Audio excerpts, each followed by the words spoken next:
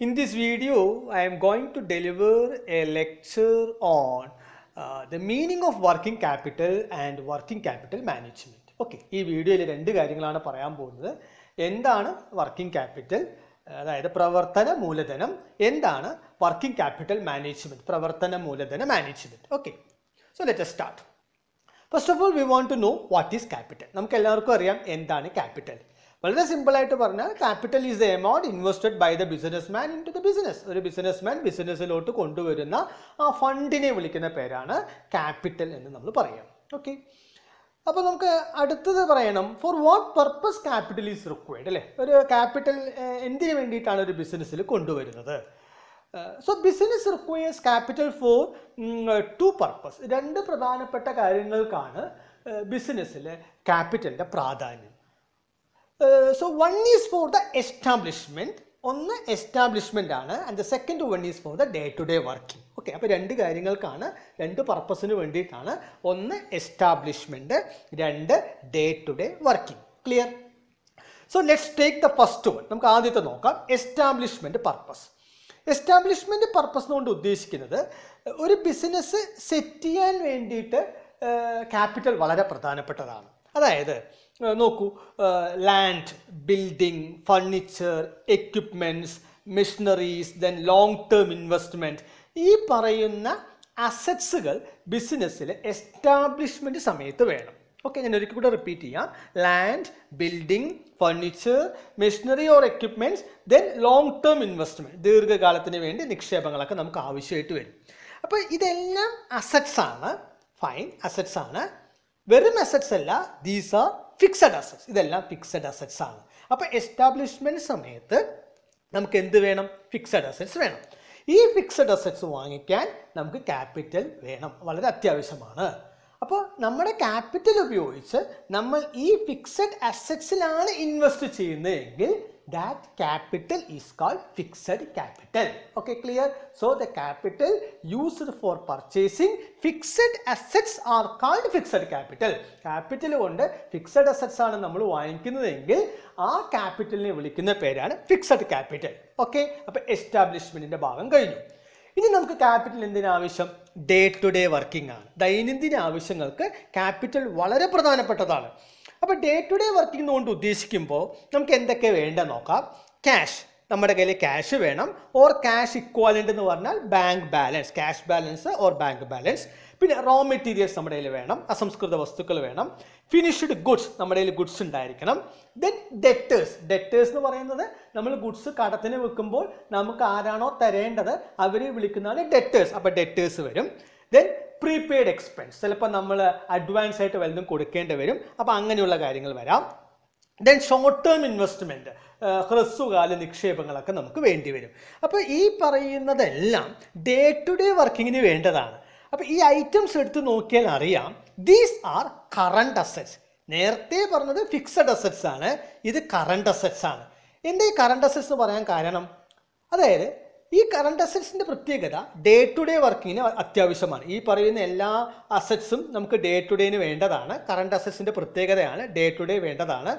അത് മാത്രമല്ല these assets can be converted in to cash within a short period ഈ പറയുന്ന അസറ്റ്സിനെ നമുക്ക് വളരെ പെട്ടെന്ന് കാശാക്കി മാറ്റാൻ പറ്റും. അതുകൊണ്ടാണ് അതിനെ കറണ്ട് അസറ്റ്സ് എന്ന് വിളിക്കുന്നത്.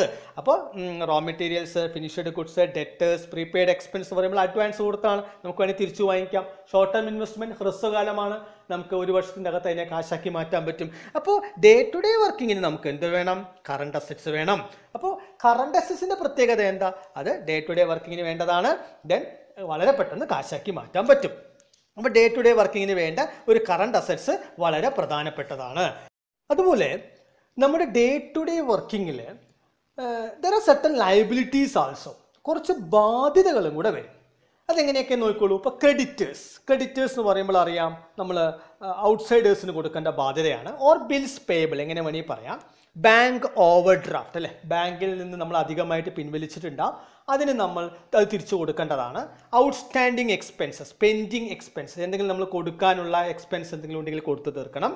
ദെൻ ഷോർട്ട് ടേം ലോൺ ഹ്രസ്വകാല വായ്പ എടുത്തിട്ടുണ്ടെങ്കിൽ അത് തിരിച്ചു കൊടുക്കണം. ദെൻ ടാക്സ് പേയബിൾ ടാക്സ് കൊടുക്കാനുണ്ടെങ്കിൽ ഇത് കൊടുക്കണം. ഈ പറഞ്ഞതെല്ലാം ബാധ്യതകളാണ്. ഈ ബാധ്യതകൾക്ക് ഒരു പ്രത്യേകതയും കൂടിയുണ്ട്. എന്താ പ്രത്യേകത? These are the liabilities which are to be paid in a short period വളരെ പെട്ടെന്ന് കൊടുത്തു തീർക്കേണ്ട ബാധ്യതയാണ്. അതിനെ വിളിക്കുന്ന പേരാണ് കറണ്ട് ലയബിലിറ്റീസ് അപ്പം നേരത്തെ നമ്മൾ ഡേ ടു ഡേ വർക്കിങ്ങിൽ കറണ്ട് അസറ്റ്സിന്റെ കാര്യം പറഞ്ഞു. ഇതാ ഇപ്പം അടുത്ത ഡേ ടു ഡേ വർക്കിങ്ങിൽ നമ്മൾ പറയുന്നു കറണ്ട് ലയബിലിറ്റീസിനെ കുറിച്ചാണ് പറയുന്നത്. അപ്പോൾ ഒരു വശത്ത് കറണ്ട് അസറ്റ്സ് ഒരു വശത്ത് കറണ്ട് ലയബിലിറ്റീസ് രണ്ടും ഷോർട്ട് ടേം ആണ്. കറണ്ട് അസറ്റ്സിന്റെ ഒരു പ്രത്യേകതയുണ്ട്. എല്ലാം ക്യാഷ് ഇൻഫ്ലോസ് ആണ്. എന്നാൽ കറണ്ട് ലയബിലിറ്റീസിന്റെ പ്രത്യേകത അത് ഔട്ട്ഫ്ലോ ആണ് അത് ബാധ്യതയാണ്. അതുകൊണ്ട് listen very carefully so in the day to day working current assets and current liabilities are the ദൈനംദിന പ്രവർത്തനത്തിൽ കറണ്ട് അസറ്റ്സും കയറി വരും കറണ്ട് ലയബിലിറ്റീസും വരും. അപ്പോൾ എന്തായിരിക്കും? വർക്കിംഗ് ക്യാപിറ്റൽ അതാണ് ഇനി പറയാൻ പോകുന്നത്. സോ വർക്കിംഗ് ക്യാപിറ്റൽ എന്ന് പറയുന്നത് it is the capital required for the day to day working very simple വളരെ സിമ്പിൾ ആയിട്ട് പറഞ്ഞാൽ capital required for the day to day working ദൈനംദിന ആവശ്യത്തിന് വേണ്ടിയിട്ടുള്ള ക്യാപിറ്റലിനെ വിളിക്കുന്ന പേരാണ് working capital so working capital means the capital required for the day to day working കുറച്ചും കൂടെ നമ്മൾ അതിനെ സ്പെസിഫിക് ആയിട്ട് ഒന്നും കൂടെ പറയുകയാണെങ്കിൽ the capital required for managing the current assets and current liabilities are called working capital നമുക്ക് കുറച്ചും കൂടെ. അതായത് നമുക്ക് ദൈനംദിന പ്രവർത്തനത്തിൽ കറണ്ട് അസറ്റ്സും വരും കറണ്ട് ലയബിലിറ്റീസും വരും. അപ്പോൾ കറണ്ട് അസറ്റ്സും കറണ്ട് ലയബിലിറ്റീസും മാനേജ് ചെയ്യാനുള്ള ക്യാപിറ്റലിനെ വിളിക്കുന്ന പേരാണ് വർക്കിംഗ് ക്യാപിറ്റൽ ഒരു എക്സാമ്പിൾ പറഞ്ഞാൽ നിങ്ങൾക്ക് പെട്ടെന്ന് മനസ്സിലാവും. ഫോർ എക്സാമ്പിൾ ഇപ്പോൾ ഡെറ്റേഴ്സ് ഡെറ്റേഴ്സ് എന്ന് പറഞ്ഞാൽ എന്താ? നമുക്ക് പൈസ കിട്ടാനുള്ളതാണ്. അത് ഇൻഫ്ലോ ആണ്. നമുക്ക് കിട്ടാനുള്ള പൈസയാണ്. എന്നാൽ ക്രെഡിറ്റേഴ്സ് എന്ന് പറഞ്ഞാൽ എന്താ? ഔട്ട്ഫ്ലോ ആണ്. അപ്പോൾ ഡെറ്റേഴ്സിലൂടെ നമ്മൾ കളക്ട് ചെയ്താൽ മാത്രം പോരാ. അത് ക്രെഡിറ്റേഴ്സിന് കൊടുക്കുകയും വേണം. അതാണ് that is means manage the capital required for managing the current assets and current liabilities are called working capital ഇപ്പോൾ ഈ കറണ്ട് അസറ്റ്സും കറണ്ട് ലയബിലിറ്റീസും നമുക്ക് മാനേജ് ചെയ്യാനുള്ള ആ ക്യാപിറ്റലിനെ വിളിക്കുന്ന പേരാണ് വർക്കിംഗ് ക്യാപിറ്റൽ ഓക്കെ വളരെ സ്പെസിഫിക് ആയിട്ട് ഒരു ഫോർമുല രൂപത്തിൽ പറയാം.